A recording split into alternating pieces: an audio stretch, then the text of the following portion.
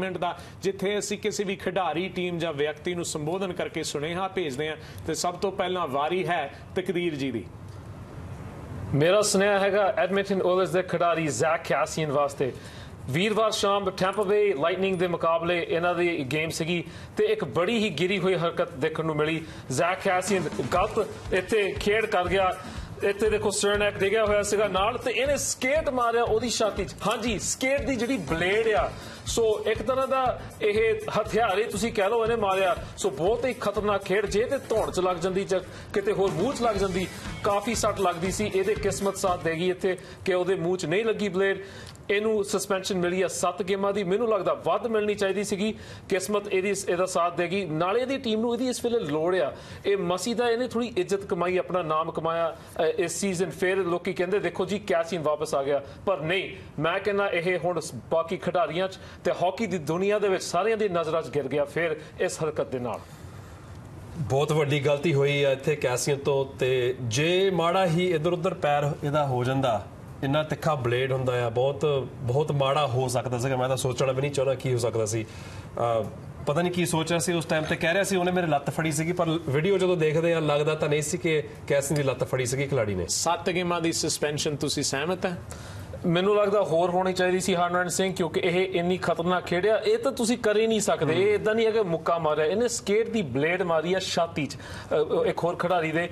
ਤੇ ਦੇਖਿਆ ਜਾਵੇ ਇਹੀ ਇਹਦੀ ਕਮਜ਼ੋਰੀ ਹੈ। ਕਈ ਵਾਰੀ ਇਹ ਜਜ਼ਬਾਤੀ ਹੋ ਕੇ ਗਲਤ ਫੈਸਲਾ ਲੈ ਲੈਂਦਾ ਤਾਂ ਉਹ ਫੇਰ ਨਜ਼ਰ ਆਇਆ। ਗਰਮ ਜ਼ਿਆਦਾ ਕਈ ਵਾਰੀ ਹੋ ਜਾਂਦਾ ਤੇ ਉਹ- ਉਹਦਾ ਹੋਸ਼ ਜਿਹੜਾ ਉਹ ਹੋਸ਼ 'ਚ ਰਹਿੰਦਾ ਨਹੀਂ। ਤੇ ਮੇਰੇ ਹਿਸਾਬ ਨਾਲ ਘੱਟ ਤੋਂ ਘੱਟ 15 ਕੁ ਗੇਮਾਂ ਤਾਂ ਮਿਲਣੀਆਂ ਚਾਹੀਦੀਆਂ ਸੀ। ਸੋ ਦੇਖੋ ਐਨਐਚਐਲ ਪਲੇਅਰ ਸੇਫਟੀ ਵਾਲੇ ਤਾਂ ਨਾਰਾਜ਼ ਹੈਗੇ ਆ ਪਰ ਮੈਨੂੰ ਲੱਗਦਾ ਇਹਦੇ ਨਾਲ ਦੇ ਸਾਥੀ ਵੀ ਹੈਰਾ- ਅ, ਨਾਰਾਜ਼ ਹੋਣਗੇ ਤੇ ਜਿਹੜੇ ਐਡਮਿੰਟਨ ਓਇਲਰਸ ਦੇ ਕੋਚ ਤੇ ਜੀਐਮ ਹੈ ਉਹ ਵੀ ਨਾਰਾਜ਼ ਹੋਣਗੇ ਕਿਉਂਕਿ ਇਹਦੀ ਲੋੜ ਸੀ ਜਿਵੇਂ ਤੁਸੀਂ ਕਿਹਾ ਮੈਕਡੇਵਿਡ ਪਹਿਲਾਂ ਹੀ ਬਾਹਰ ਹੈ ਕੈਸੀਅਨ ਪਹਿਲੀ ਲਾਈਨ ਤੇ ਖੇਡਣ ਵਾਲਾ ਖਿਡਾਰੀ ਹੈ ਇਸ ਕਿੱਤੇ ਦਾ ਸਭ ਤੋਂ ਵਧੀਆ ਸੀਜ਼ਨ ਚੱਲ ਰਿਹਾ ਤੁਸੀਂ ਦੇਖੋ ਪੈਸੀਫਿਕ ਡਿਵੀਜ਼ਨ 'ਚ ਕਿੰਨੀ ਨੇੜਤਾ ਹੈਗੀ ਆ ਜਿਹੜੀ ਪਹਿਲੇ ਸਥਾਨ 'ਚ ਤੇ ਪੰਜਵੇਂ ਸਥਾਨ ਦੀ ਟੀਮ ਆ ਸਿਰਫ 5-6 ਪੁਆਇੰਟਾਂ ਦਾ ਫਰਕ ਆ ਸੋ ਕਾਫੀ ਇੱਥੇ ਇਹਦੀ ਟੀਮ ਨੂੰ ਫਰਕ ਪੈ ਸਕਦਾ ਆ ਗਈ ਵਾਰੀ ਗੁਰਪ੍ਰੀਤ ਸਿਆਣ ਦੀ ਥੈਂਕ ਯੂ ਹਨਰਨ ਮੇਰੀ ਗੱਲ ਸੁਣੋ ਇੰਟਰਨੈਸ਼ਨਲ 올림픽 ਕਮੇਟੀ ਤੇ ਇੰਟਰਨੈਸ਼ਨਲ ਆਈਸ ਹਾਕੀ ਫੈਡਰੇਸ਼ਨ ਵਾਲਿਓ ਮੈਂ ਸ਼ਾਬਾਸ਼ ਦੇਣਾ ਚਾਹੁੰਦਾ ਤੁਹਾਨੂੰ, ਕਿਉਂਕਿ ਤੁਸੀਂ ਇੱਕ ਨਵੀਂ ਅਨਾਉਂਸਮੈਂਟ ਕੀਤੀ ਹੈ ਵੱਡੀ ਬਹੁਤ ਅਨਾਉਂਸਮੈਂਟ ਸੀਗੀ ਮੇਰੇ ਹਿਸਾਬ ਨਾਲ, ਜੋ ਕਿ 올림픽 ਹਾਕੀ ਅਤੇ NHL ਖਿਲਾੜੀਆਂ ਬਾਰੇ ਹੈਗੀ ਆ।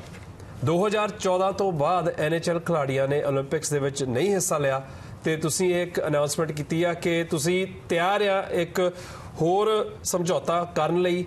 ਤੁਸੀਂ ਇਹ ਕਿਹਾ ਕਿ ਜਿਹੜੇ ਖਰਚੇ ਆ ਕੇ ਟਰੈਵਲ ਦੇ ਖਰਚੇ ਜਾਂ ਹੋਟਲ ਦੇ ਖਰਚੇ, ਤੁਸੀਂ ਉਹ ਖਰਚੇ ਸੰਭਾਲਣ ਨੂੰ ਥੋੜੇ ਬਹੁਤੇ ਤਿਆਰ ਆ ਤੇ ਤੁਸੀਂ ਇਹ ਵੀ ਕਿਹਾ ਕਿ ਜਿਹੜੇ ਲੋਗੋ 올림픽ਸ ਦੇ ਆ, ਉਹ ਵੀ NHL ਤੇ NHL ਦੇ ਜਿਹੜੇ ਮੀਡੀਆ ਹੈਗੇ ਆ, ਉਹ ਵਰਤ ਸਕਦੇ। ਇਹ ਇੱਕ ਬਹੁਤ ਵੱਡੀ ਗੱਲ ਸੀਗੀ ਪਾਸਟ ਵਿੱਚ ਤੇ ਇਹ ਤੁਸੀਂ ਅਨਾਉਂਸਮੈਂਟਸ ਕਰਕੇ ਮੇਰੇ ਹਿਸਾਬ ਨਾਲ ਇੱਕ ਤੁਸੀਂ ਦਿਖਾ ਦਿੱਤਾ ਕਿ ਤੁਸੀਂ ਸਮਝੌਤਾ ਕਰਨ ਲਈ ਤਿਆਰ ਆ।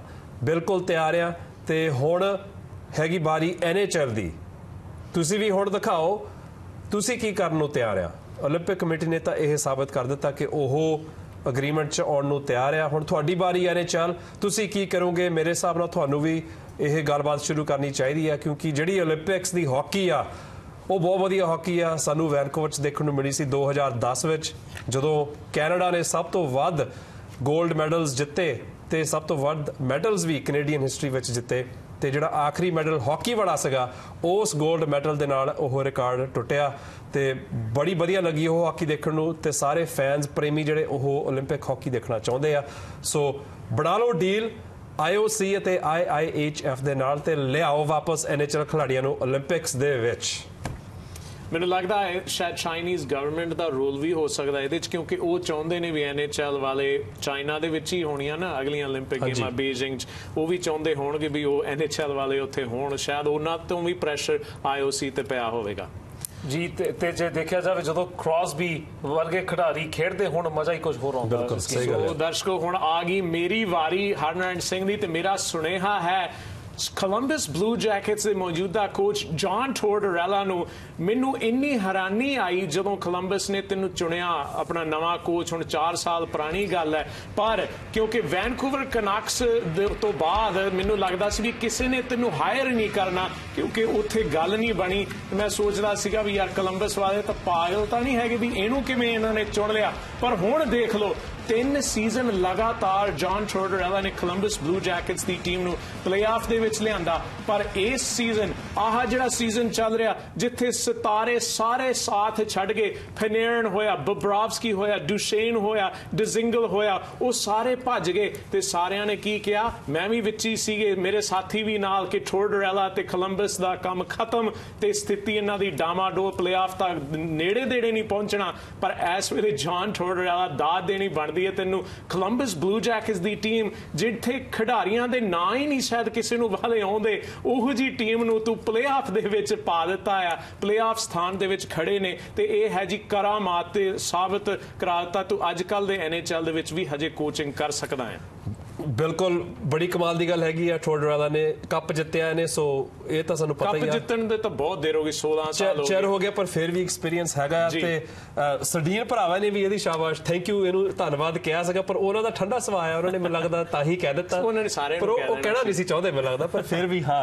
ਕਮਾਲ ਦੀ ਗੱਲ ਆ ਕਿ ਕੋਲੰਬਸ ਬਲੂ ਜੈਕਟਸ ਦੀ ਟੀਮ ਦੇ ਉੱਤੇ ਕਿਸੇ ਵੀ ਖਿਡਾਰੀ ਨੇ 20 ਗੋਲ ਤੋਂ ਵੱਧ ਕੀਤੇ ਨੇ 19 ਗੋਲ ਹੈਗੇ ਆ ਟਾਪ ਦਾ ਜਿਹੜਾ ਬਿਓਰਕਸਟਨ ਹੈਗਾ ਐਸ ਵੇਲੇ ਆਲਵਰ ਬਿਓਰਕਸਟਨ ਤੇ ਬਾਕੀ ਇਹ ਵਾਈਲਡ ਕਾਰਡ ਸਥਾਨ 'ਚ ਹਜੇ ਵੀ ਬੈਠੇ ਆ। ਕਮਾਲ ਦੀ ਗੱਲ ਆ ਸੋ ਦਾਦ ਨਹੀਂ ਬਣਦੀ। ਹੈ ਜੀ ਕੋਈ ਵੀ ਨਹੀਂ ਸੀ ਸੋਚਦਾ ਵੀ ਕੋਲੰਬਸ ਬਲੂ ਜੈਕਟਸ ਦੀ ਟੀਮ ਪਲੇਆਫ ਦੇ ਨੇੜੇ ਦੇੜੇ ਵੀ ਹੋਣਗੇ ਪਰ ਉੱਥੇ ਪਹੁੰਚੇ ਹੋਏ ਨੇ ਤੇ ਜੇ ਲੈ ਗਿਆ ਪਲੇਆਫ ਦੇ ਵਿੱਚ ਅ, ਜੌਨ ਟੋਰਡਰੈਲਾ ਜੋ ਕਿ 2016-17 ਦੇ ਵਿੱਚ ਵੀ Jack Adams trophy coach of the year ਇਨਾਮ ਮਿਲਿਆ ਸ਼ਾਇਦ ਇਹਨੂੰ ਫੇਰ ਚੁਣਨਾ ਪਵੇ। ਸੋ ਦਰਸ਼ਕੋ ਆਪਾਂ ਜਾਣਦੇ ਹਾਂ ਬ੍ਰੇਕ ਵਾਲ ਬ੍ਰੇਕ